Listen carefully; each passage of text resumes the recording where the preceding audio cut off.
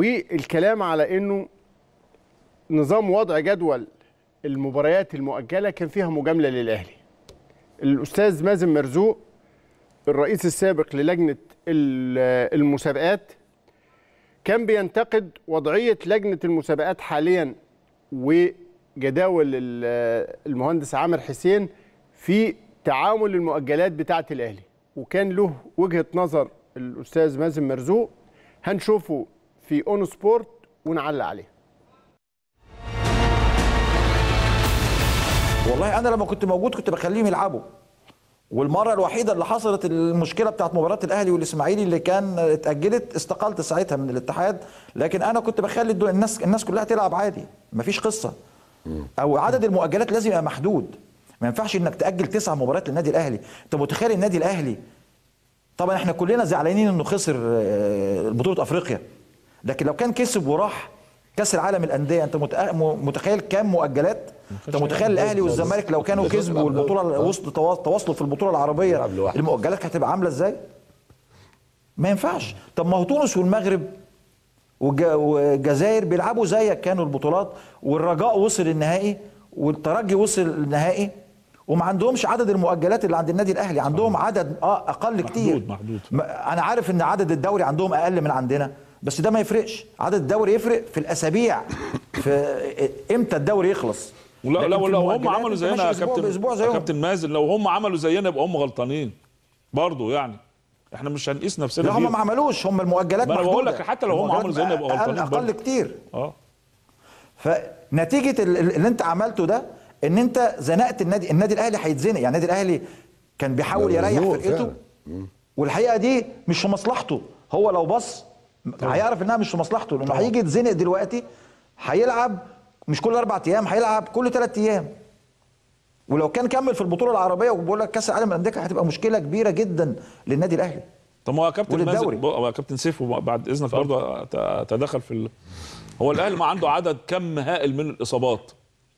يعني أنت أجلت له وعنده الإصابات وعنده برضه لا بالعكس الإصابات زادت. آه. يبقى يبقى المشكلة عند الأهلي مش عند اتحاد الكره يعني الأهلي هو اللي ما استعدش جيدا إن هو داخل في أكتر من بطولة كان لازم يبقى عنده عدد وافر من النجوم يخوض بيهم البطولات دي بالظبط، بالظبط. لا إما إن هو كان يقيس نفسه ويقيس أموره وظروفه آه. وكان يشارك في بطولة ولا اتنين ويعتذر عن بطولة أخرى لا والأهلي كان ممكن يعتذر عن بطولة الأهلي. كمان عنده مشكلة والانديه المصرية القايمة نفسها لا سواء 25 وبعدين انت برضه انت عملت 30 قائمة ال 25 لازم نصهم. قاعد على الدكة. بالظبط. ما الأهلي لما وقع يعني إيه؟ آه إصابات. بالظبط. أستاذ- اتفضل اتفضل اتفضل. يا مان. اتفضل يا كابتن. معلش قطعناك هي قائمة ال 25 لا لا خالص. قائمة ال 25 ظلمت الفرق بأمانة. آه. لأن أنت عندك السنة دي بطولة عربية زيادة وبطولة عربية بالظبط. كبيرة.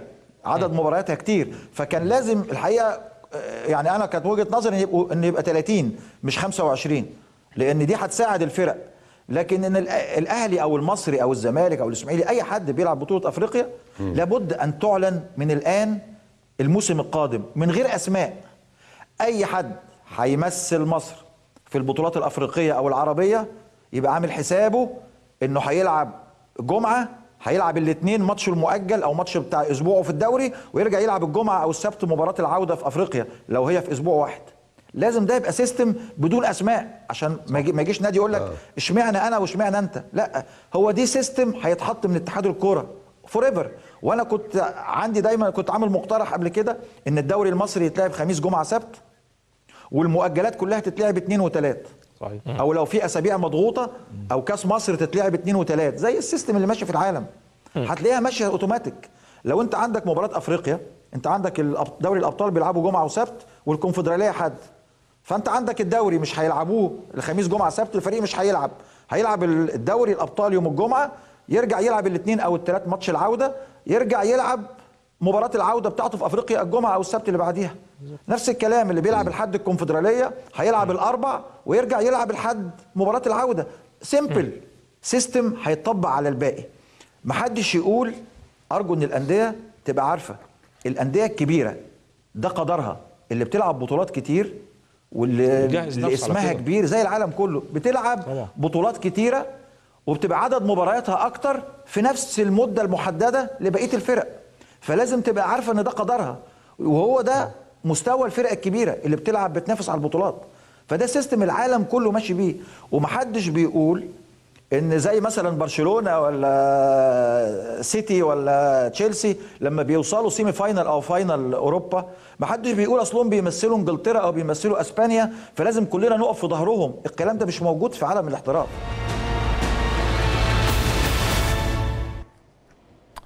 يعني إحنا كلها قضايا مطروحة وكله كلام فيه جزء كبير من المنطق ها؟ وأيضا جزء من ان اللي على البر عوام.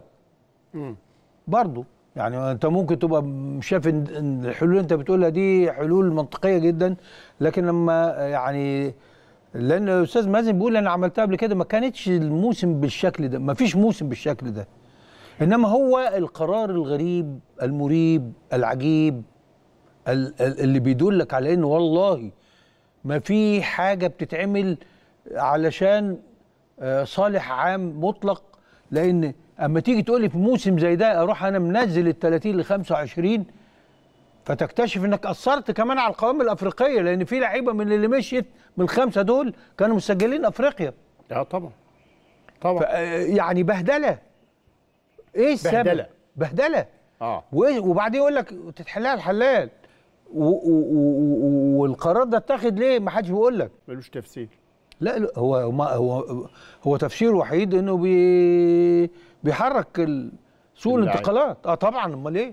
هي كلها سوق انتقالات وبيخدم أندية وأصوات وصاعدة وهابطة. إنما فكرة إن أنا بقالي أر- 30 سنة قضيتي كلها ألغي ال- الابتدائية تبقى خمس سنين ولا رجعها ست سنين.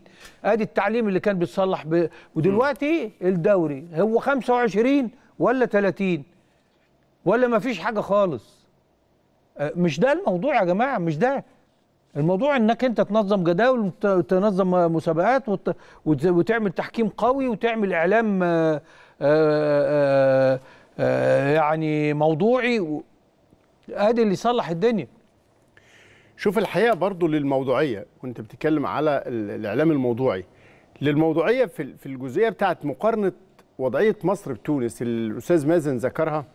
رقم واحد وهو أشار لده إنه الدوري التونسي عدده أقل بس إزاي هو مش. شايف إن ده مش مؤثر يعني بس كمان الدوري التونسي بدأ بعد الدوري المصري بشهر كامل فأنت ما كنتش عندك ماتشات الاشتباكات بتتلعب. الكتيرة بال... آه. بالشكل اللي أنت عليه إنما كمان لما يتقال أنا أثبت كويس يبقى في أجندة ثابتة الدوري هيتلعب آه، خميس آه، أربع خميس جمعة زي ما قال والاثنين والثلاث في وسط الأسبوع تلعب ال- المباريات المؤجلة أو المباريات الأفريقية الخارجية. الكلام ده كويس جدا من الناحية النظرية. طب تعمل إيه بعد ما الاتحاد الأفريقي حط لك مباريات في دوري الأبطال ثلاث واربع كان الأول كانت ثابتة. يا بتلعب جمعة سبت حد أحد أيام ثلاثة بيخيرك بينهم. في ظل الأجندة المضغوطة بتاعة الاتحاد الأفريقي بقى بيلعب ثلاث واربع في نص الأسبوع كمان. تلعب تعمل إيه؟ بقول أنت لك في جزء من الكلام من العربال العرب عوام. البر عوام لأنه مش مش في التفاصيل دي قوي بالظبط. أنت عندك الاتحاد الأفريقي ضغط لك المسألة في موسم بهذا الشكل. المقارنة أيضا مع أوروبا لأنه أوروبا زي ما بيحصل في دوري أبطال أوروبا وزي ما بيحصل في بطولات أوروبا، الكلام حلو. بس السفر تعمل إيه فيه؟ أي فرقة مصرية بتيجي مسافرة أفريقيا شوفوا الفرق الأوروبية بتتنقل فيما بين بعضها في آه، ساعتين بيبقى في الدولة الثانية يلعب ويرجع بعد ساعة. طيب انت النهارده والأندية كبيره عندها طيارات خاصة ولا؟ آه ظروف مختلفة. ال- المقارنة هنا مش موضوعية. الناس بقى اللي بتتكلم يعني ال- الزميل رضوان الزياتي كان واخد في في الحلقة دي الاتجاه ال- المضاد للاهلي بحدة على غير عادته. أنا تابعته فأنا استغربت هو ال- ال- ال- ال- المنطق فين في جزئية طب ما هو أجلوا لكم أهو ماتشات للأهلي ومع هذا اللعيبة مصابة. ما هو ده نتيجة مش سبب. هو هو انت أنت عشان لعبت ماتشات مضغوطة بشكل غير الآدمي كانت النتيجة احمال ال- بدنية وأعباء لا مش آه، كده كمان. كتيره أدت لإصابات مش طبيعية. ده جزء تراكمي. يعني هو الإصابة مش ضروري تكون مس- المسؤولية على الموسم اللي حصل اللي حدثت فيه. آه. أنت م- تم استهلاكك على ثلاث أربع مواسم سابقة. بالظبط. مش هي الإجهاد لا يأتي فجأة. ما هو ده اللي قاله مانو جوسيه. قال لهم يا جماعة أنتم متصورين تلاحم المواسم ده. هيعمل إيه في الأهلي السنة الجاية؟ السنة الجاية. واتكلم قال لهم كده. قال لهم هيبقى في إصابات كتير. للناس اللي بتقارن وإنه الأهلي اتخدم عليه في موضوع المؤجلات شوفوا الأهلي لعب بطريقة إزاي. الأهلي لعب حتى لقاء النجوم الأخير في الدوري 10 ماتشات. لعب في كأس مصر مباراة. لعب في دوري أبطال أفريقيا اللي خلص تسع مباريات. لعب في دوري أبطال أفريقيا 2019 يعني في 2018 لعب تسع مباريات. لعب في بطولة زايد العربية أربع مباريات. توقفات المنتخبات للمباريات الدولية الرسمية أربع مباريات. التفاصيل شوفوا بقى فين الأيام البينية اللي كان الأستاذ مازن عايز الحاج عامر حسين يحط مباريات للأهلي. لما الأهلي يلعب مع الإسماعيلي في الدوري 2 أغسطس ويلعب مع المصري 7 أغسطس ويلعب مع النجم اللبناني 13 أغسطس يعني 7 و13 ويلعب مع الترجي 17 يعني هتلاقي يا ثلاث أيام يا أربع أيام على طول. ويلعب 17 أغسطس مع الترجي يلعب مع دجلة في الدوري 21 21 أغسطس مع ال- ال- الدجل مع دجلة 24 أغسطس مع الحدود. ثلاث أيام على طول. 24 و28 ماتش كامبالا سيتي في أفريقيا. ألاقيه بيلعب مع الإنتاج أول سبتمبر والمنتخب يقف. ما دي برضو جملة اعتر- اعتراضية مهمة. حتى في الفترات اللي انت بتتكلم فيها إنك تثبت جدول ثابت. طب ثبت لي بقى المباريات الدولية للمنتخب ومعسكرات المنتخب وشوف مين من الأندية يقدر يلعب مباريات رسمية ومتاخد منه عدد من اللعيبة الدوليين. لأنه حتى لما الدوري وقف ولما لا بص يا أستاذ إبراهيم أنت كون متاخد منك لعيبة في المنتخب الأول والمنتخب الأولمبي. آه. فاللي بيتكلم هو مش مش التفاصيل مش قدامه قوي. بالظبط لأنه الاهلي يلعب مع الانتاج اول سبتمبر يقف الدوري. طب حلو قوي ناخد نفسنا؟ لا. اللعيبة الدوليين تروح للمنتخب عشان تلعب مباراة النيجر 8 سبتمبر. بين. بين المنتخبين في حوالي 10 لعيبة من الأهلي. الحريه الغيني. في أفريقيا يوم 14 سبتمبر و22 سبتمبر. يعني 8 أيام وبينهم سفرية طبعا.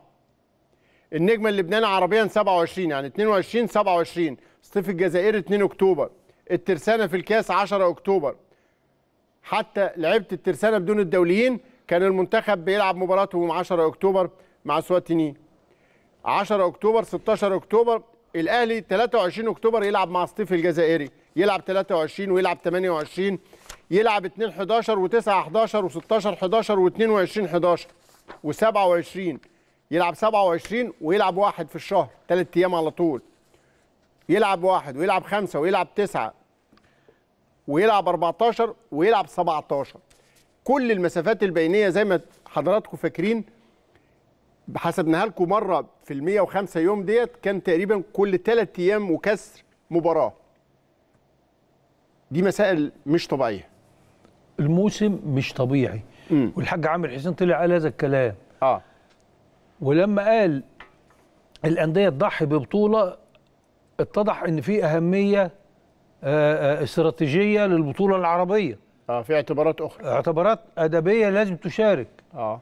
فأنت وأفريقيا في اعتبارات كينونة. أنت ما بت...